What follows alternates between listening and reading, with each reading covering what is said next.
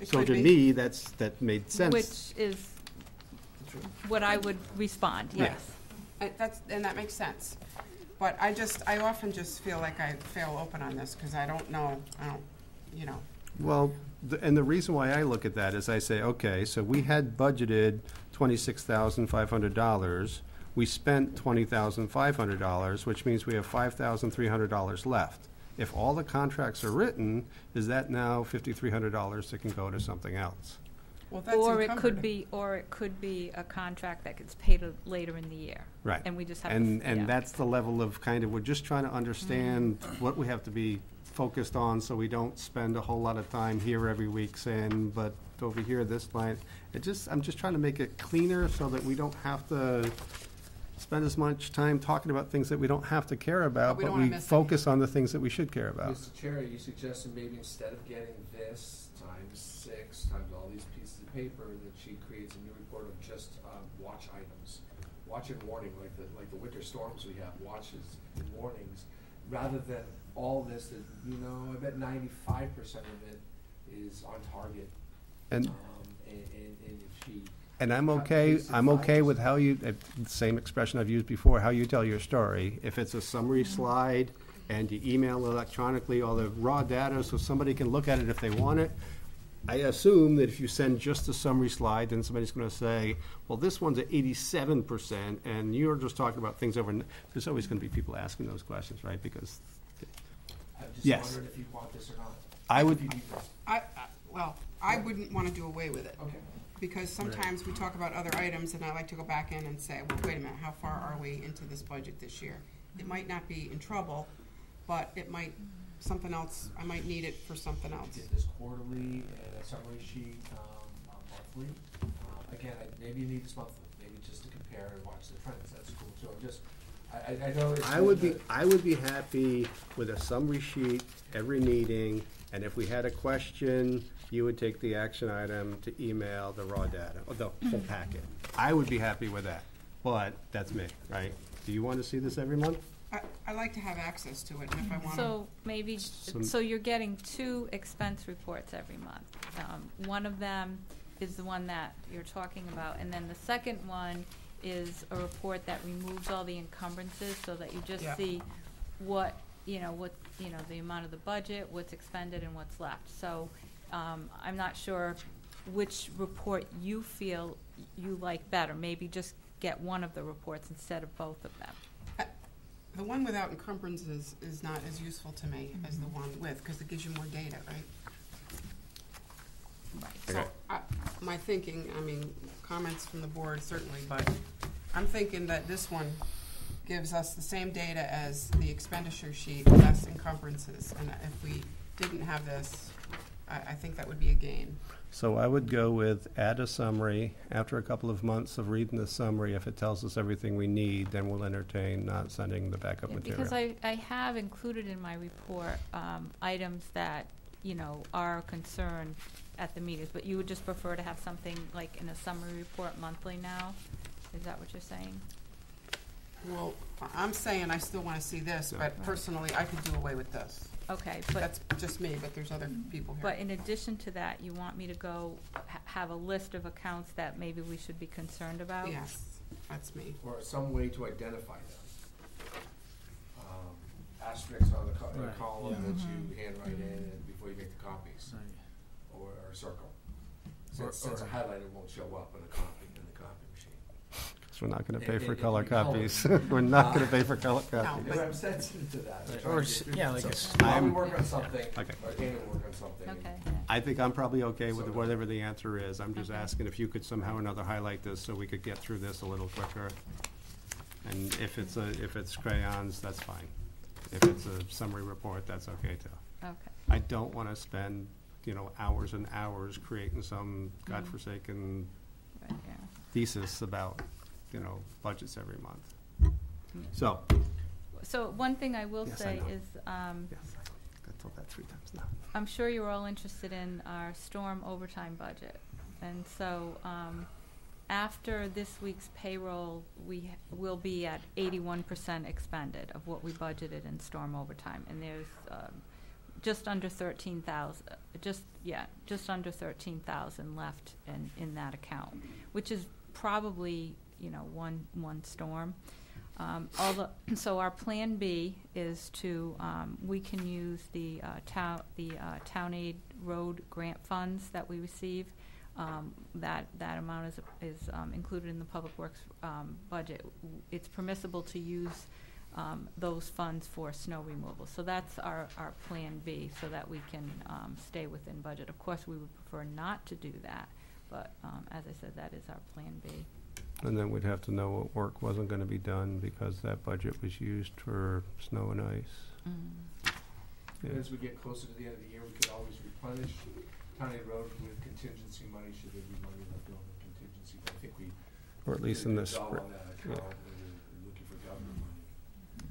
So just, I mean, last week, this, the, um, the crews had to go out, and that was ten thousand four hundred and seventy-four dollars, and when they went out, um, uh, uh, again, Tuesday night, well, no, that's actually gonna be, be next week's payroll, but it was from two weeks ago, and then, um, last week it was eleven thousand four hundred thirty-one dollars. You know, it Storms just, are coming. It's the kind of thing that, wrong yeah. Just- I would love to be able to control the weather, but I can't, so. We two inch storms Yeah. on Saturday night, and that Mm. is a very expensive. And that's what did us, that's Mhm. what was in our favor last year, is all the storms were hitting during the week. During- So if we the could week, yeah. schedule these storms during the week, that'd be helpful. If you could work on that, please. Any other questions for our financial director? Yes, so that brought us full circle to, do you have any concerns? Okay, we didn't answer We that didn't question. answer The that one question. thing that, you know, when I went through the budget, um, the, the one thing that stood out is really, um, y- the, the storm accounts, and that's because of how, the volume that we're getting so quickly and so early in, into the season.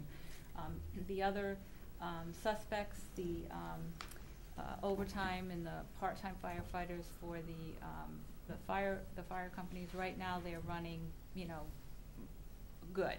So, you know, but they're, you know, right at that, um, you know, fifty percent level, maybe, you know, a little bit over in one of them. And then, today, um, the, the, actually, the chief came to me and, um, we, uh, posted, um, something to the regular overtime that should have been posted to the, um, uh, foot patrol account. So that'll kind of get the, uh, police overtime uh, tracking right on target at this point in time.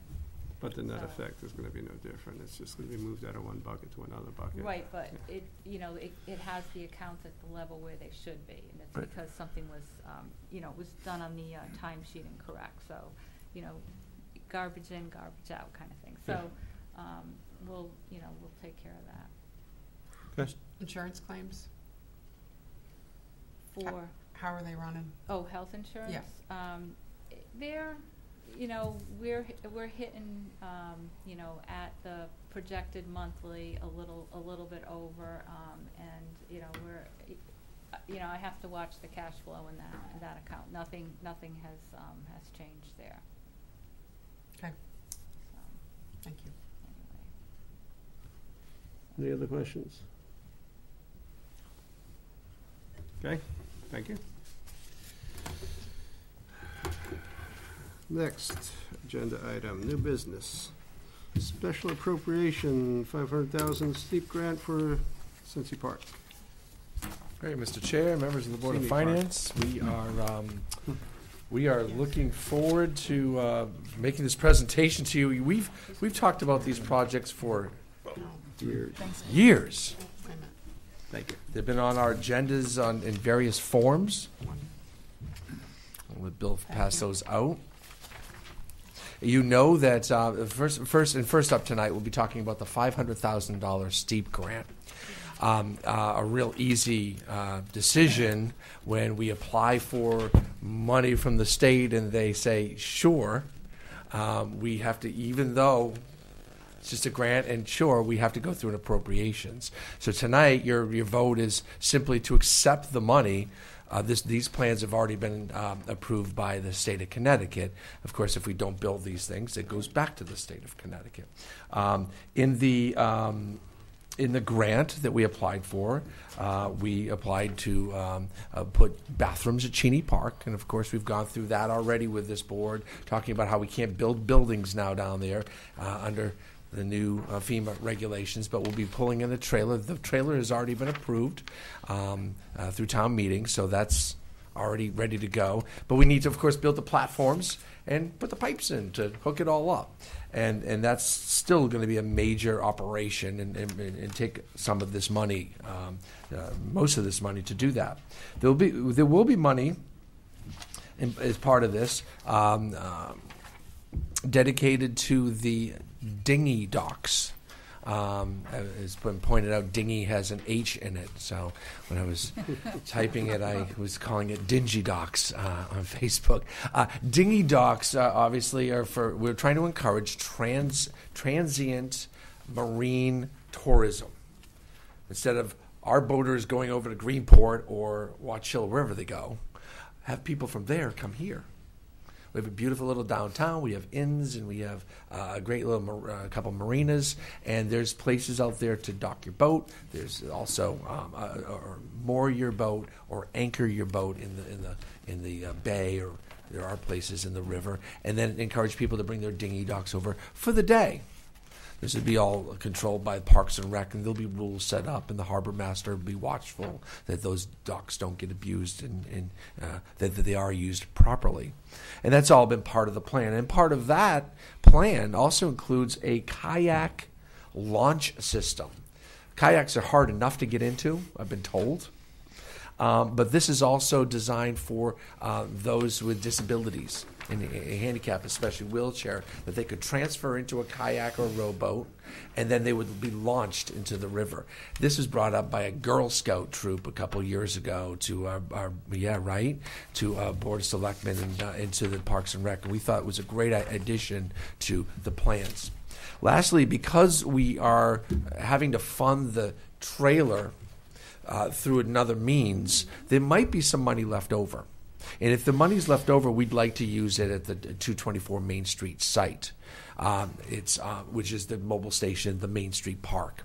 It is state money. We love to use state money at this park and not use uh, East Lyme taxpayer money whenever possible. We're going to use all the grant money up first, including some fundraising. You'll hear about those plans on the next item that will be coming up.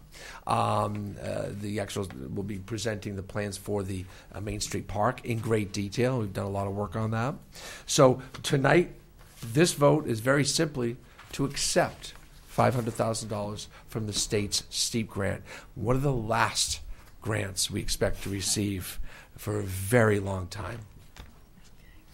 Now, uh, Mr. Mr. Shear is uh, no stranger to this board. Mr. Shear can give you some detail about where the, the, the bathrooms are going to be and where the dinghy docks are going to be. Mr. Shear, you're, you're still here, right? Yes. Good evening. Um, We've talked about this in detail before. The uh, water and sewer lines are coming from Niantic Transmissions, approximately 2,400 feet, down to Cini Park. This right here is the Blackhawk Building. Water, the water and sewer lines come through the parking lot. These ones are already in place. And this is the location of our new bathroom right here. Let me flip that over. Do you need help? No, I'm good. This, basically, this is the, so you can, I don't remember if I showed you this last time or not. This is to show you where we are, because the next plan is gonna be very difficult to understand where you are. So- This is going underneath boardwalk right here. So that's where the trailer's going, is that off Yellow Spot? Yep. Yes, Oh, right I here, thought- right behind the Blackhawk building. Okay, the other day we talked about it coming like almost under the bridge. Right, Yeah. up where we- the current porta okay, potties are. We were way off. Yes. We thought it was in that grass underneath the bridge. Why is that Okay. bounded in red? Is that a property line That's the property line right there, for us? for us. And who owns? Amtrak owns this, DOT owns this. Okay. So, now that you know where you are,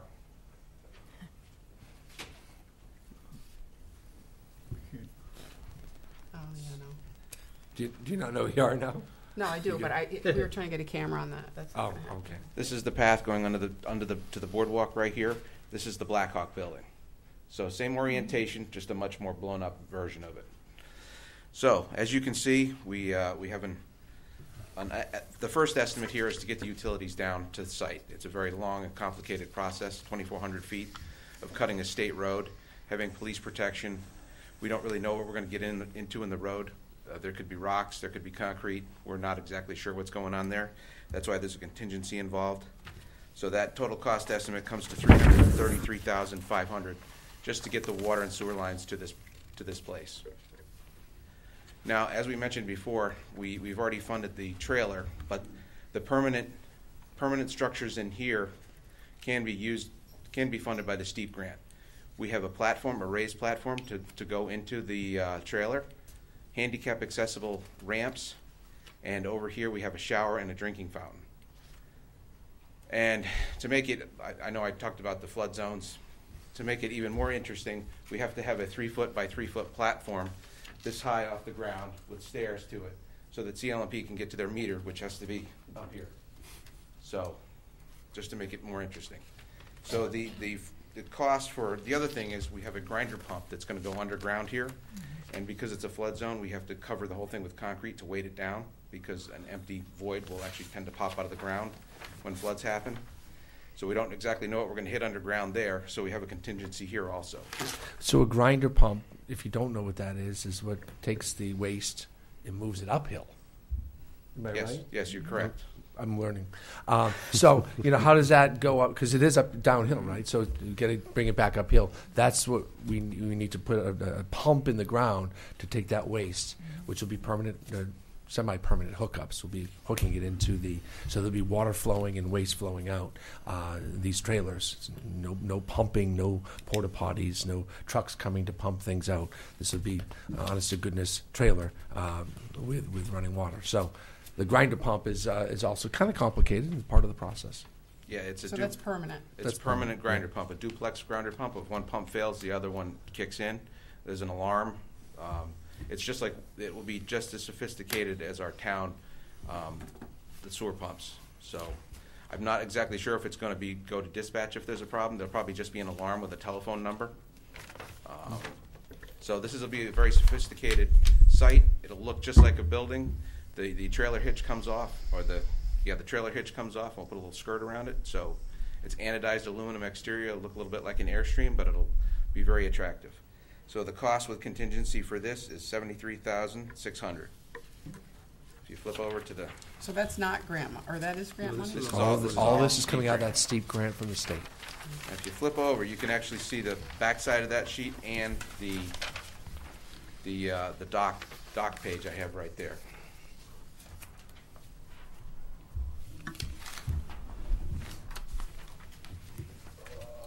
Of course, I printed this without that shown on there. The floating dock is right here, just off the page. I apologize for that. Kind of um, parallel to where the gate, with the uh, gatehouse is, At the end of where the wood, where the, the, where the, where the guards. boardwalk stops, right, Yes. it's right there. So, like Mark mentioned, we- we're looking for some economic tourism. We'd like to get some dinghies in here, um, and also some small boats. The Parks and Rec Commission would have jurisdiction of what size boats, how long they can stay, the whole nine yards. And also, a Girl Scout had proposed a uh, handicap accessible kayak slash canoe launch. Because as, it's not, not the easiest, easiest thing in the world to launch a kayak from anywhere. Uh, um, If you've ever been in a kayak, they're not the easiest thing to get into. So this would be perfect for um, not only regular people, but handicapped people. I just feel validated because I launched my ca- my kayak from that little floating dock one day and I felt like a total klutz. So I'm glad I'm not just me. No, no, it's part of the whole experience. Pretty sure kayak is Latin for falling in the water. I, You're gonna get wet. it's Indian. it's Swedish for you're going to get wet. So we would be advertising to boaters coming through that, and uh, we have to buy these dinghies, I presume, right? No, Or we assume they have them? They have them on the back of their boats. Um, Oh, um, right, okay. Yeah, um, the larger ones. And this is only about 20 or 25 percent of the dinghy docks that were approved for down there. We're starting small um, to have it catch on, but we also need to dredge that river. And there's some other things, infrastructure that needs to happen before we become a, a you know, legitimate place to come and, and, and moor your boat because there's, there's a very little area that you can do that. But we're gonna we're gonna do it, and it is needed down there. There is a demand for it. People are uh, are asking for it and, and looking for it. Y- People moor their sailboats out in the bay, and then you see them try to pull their little Zodiac up on the beach, and they're looking around like, I probably shouldn't be here. So this would give them a definite destination to go to, so they could get into town. So um, we put an estimate together for that, and the estimate for that is ninety-two thousand, bringing the entire estimated project with these three things to uh, basically five hundred thousand dollars, which is the grant amount. It's convenient. Well, we spend every dime we can when it's handed to us, because we are required to give it back, otherwise. Um, Obviously, we spend it as frugally as we possibly can whenever we're doing anything. So my question for Anna is, the STEAP grants have their own purchasing procedure? State have a policy for They that? actually do. So, Ours is actually more stringent. okay. Yeah. So we don't have to get into that whole competitive bid questions and all that, about that, because it's being purchased by state procedure, not our town procedure. Okay. Any questions? John? Lisa? So, we're gonna pull this unit out what month? It's, we're- it's not in there year-round, this Yes, this restroom. will stay mm. year-round. No, the, No. Oh, oh, the tra- The trailer, I'm right? sorry. trailer. I thought you were talking about the docks. Not Oh, I'm winterized. sorry, I was unclear. The trailer will not be winterized. It will be, it will run the same schedule as the other bathrooms at, at McCook's and. But they're open now. Um, bathrooms, I don't No. believe are open in the I- winter. I know we, we Well, I drain know them. I was, I was in one last week. You use the facilities? Yes, sir. Which one? A Hole in the wall. Mr. Mr. Putnam is at the other meeting. He'll be coming. Uh, We'll ask him. Well, I. I, I didn't to. I can realize tell that they're you. open. No, I did. They're not, We can ask I don't think they're I mean, I- heated. I don't think they're supposed to be open. Well, that's why I'm asking, because, The la- last meeting, he said end of November and beginning of April. all right, well, Yeah. do with that information whatever you like. All right, We'll- so, we'll so check the end of. November, you're gonna pull it out of there? Correct. Take it, put it inside, clean it up, winterize it, and store it for the winter. Okay, and then dur- er, during the season, if you will, it'll be locked at some point in the evening? It will maintain the same schedule as McCook's and Hole in the Wall. Okay. You know, locked at night. Dusk to dawn, dawn to dusk, dusk. Okay, thanks. question? No, I, actually, I, I heard Bill's presentation at the Board of Selectmen meeting, and thanks very much for all your work and detail, and, um, Thank a you. number of questions were asked at that meeting, but you've since answered them very well. So Thank you very much. Do, do we charge to park in this parking lot? Yeah, it's part of the beach pass system during the season. Uh, you know, that's a funky situation because we also have the town docks where, you know, Blackhawk customers can park for free. We support that business down there, and Right. it's a town-owned dock, and they pay a, pay us a very small uh, rent to be there. Um, uh, but so there's that, and so they, they might be taking up 15 to 20 cars in a given run. Um, but yes, otherwise it's a part of the beach pass system. All right. Yeah. True. So the boardwalk is free as well. We try to encourage those people to park along the, the hill going up, since they're walking anyway. It's another 35 steps. Um, but yeah, it's, it's always free for boardwalk users because we use federal money to build the boardwalk, so can't charge for parking. Any other questions? We're good? We're good. Good. In that case, I'd like to entertain a motion. I move to approve a special appropriation of five hundred thousand STEAP grant for Cini Park in Fund fifty-seven capital projects. That includes the installation of seasonal water and sewer utilities from Niantic River Transmissions, the construction of infrastructure necessary to serve a portable restroom trailer. If funding permits, the construction and installation of some or all of a transient dock, including an easy kayak canoe launch in Cini Park, and a portion of the construction cost for a public park at two twenty-four Main Street. This will require a town meeting. I have a motion. Do I have a second? Second. You got there first. All right. Any further discussion about the motion before us before we go to a vote? Hearing none. All in favor say aye. Aye. Aye. Opposed? So moved five zero. Thank you. Next on the agenda is reallocation of seventy thousand two hundred twenty-seven dollars STEAP grant for two twenty-four Main Streets. Um, so members of the Board of Finance, um, this is the, the, the moment we- that's been building, we've been building up to. Um, we've been talking about this for quite a long time. 2010, 2010 in August, I believe, we went, or maybe it was April, we went to a town referendum to say, do we want to buy this third of an acre? And, and, and, and, and to make it town controlled, owned, knock down the building, clean it up. Um, and, um, and overwhelmingly, by 73%, uh, voters came out and supported that. Since then, we've, um, we've we, um, brought together a task force made up of some members here tonight. So Niantic Main Street is here represented tonight. Members of the Parks and Rec Commission, the East Lyme Public Trust, the Rotary Club, me, Board of Selectmen, um, and we also had a landscape architect donate his time for this public space, which really legitimized this task force. They met over six months, over the course of six months and at least six meetings, um, to come up with this plan. We talked about colors of bricks, and we talked about stone wall, and we talked about what the sign should say, and we talked about um, uh, how many trees, style of trees, what everything should look like. And this is what we came up with. And it was a group effort represented by many members of the community. And um, what we're doing tonight is is trying to fund the clean the the development of this park. It's um, it's a showpiece in our town.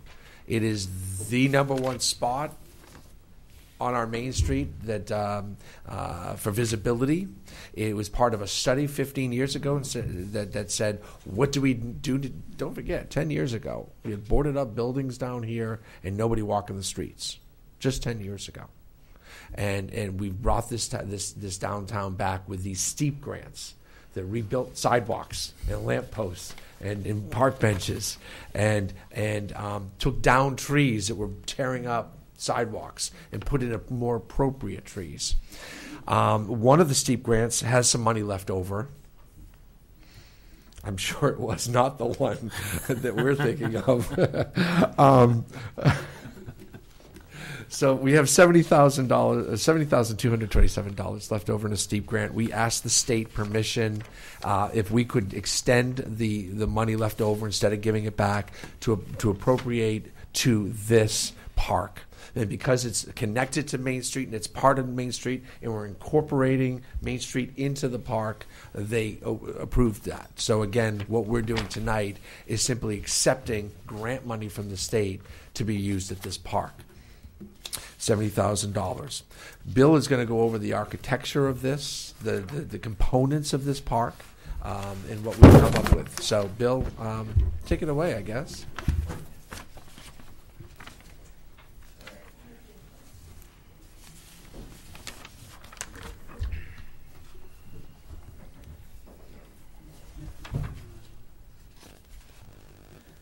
I'll start with this one. This is the overview of the, uh, the property. This is a very long and narrow property.